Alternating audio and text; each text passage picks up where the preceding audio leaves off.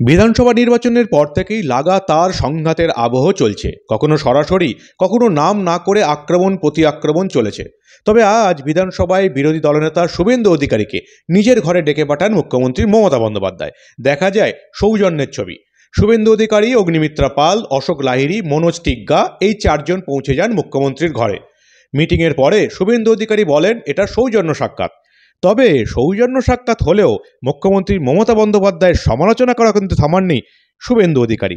বুঝিয়ে দিয়েছেন, সৌজন্য থাকলেও সমালোচনা কমবে না।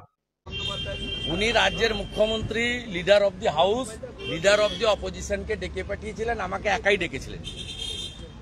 আমি বিজেপি পার্টি করি, এটা পরিবার। আমি তিনজন এমএলএকে নিয়ে গিয়ে সৌজন্য বজায় রেখেছি এবং উনি যদি চান সৌজন্যের রাজনীতি এবং হাউস বিলংস টু অপোজিশন। উভয় পক্ষের মধ্যে ওয়ার্কিং অ্যাটমসফিয়ার তৈরি হোক। আমাদের এমএলএরাও বিজেপির এমএলএ নয়, এমএলএ হিসেবে মর্যাদা পাক।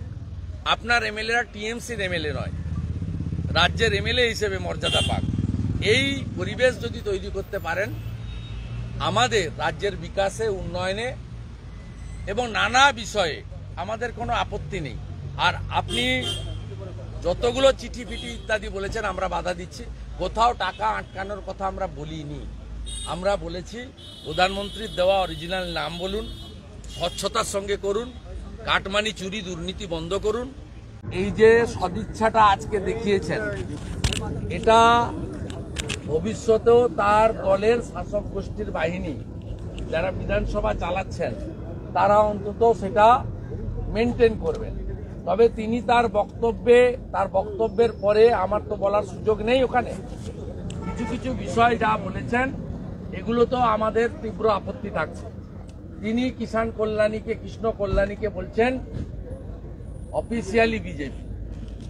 তিনি বিশ্বজিৎ দাসকে বনগাঁ সাংগঠনিক জেলা সভাপতি করেছেন। একটা মুখ্যমন্ত্রী যদি বিধানসভায় এমএলএদের সামনে অসত্য ভাষণ দেন, আমাদের বলার কোনো জায়গা নেই।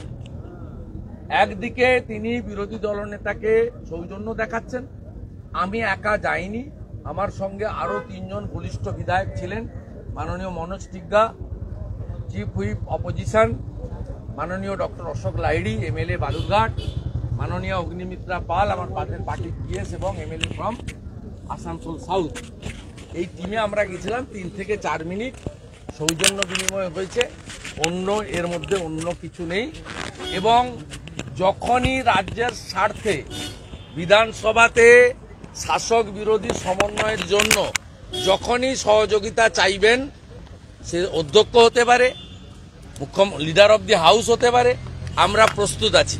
কিন্তু আমি বলব, কিষাণ কল্যাণী বিশ্বজিৎ দাসকে আপনার বিজেপি বলা বন্ধ করতে হবে। পিএসসির চেয়ারম্যান অপোজিশনকে দিতে হবে।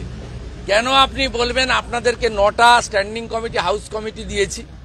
দয়ার দান নাকি?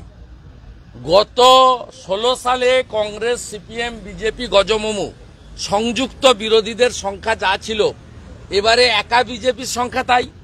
তাহলে গতবারে স্ট্যান্ডিং কমিটি হাউস কমিটি যদি পনেরোটা দিয়ে থাকেন, তাহলে কেন এবারে আপনি নটা দিতে চাইবেন? এই বৈমাত্রের সুলভ আচরণ বন্ধ করতে হবে। বিরোধী দলনেতা বিরোধী দলকে মর্যাদা দিন।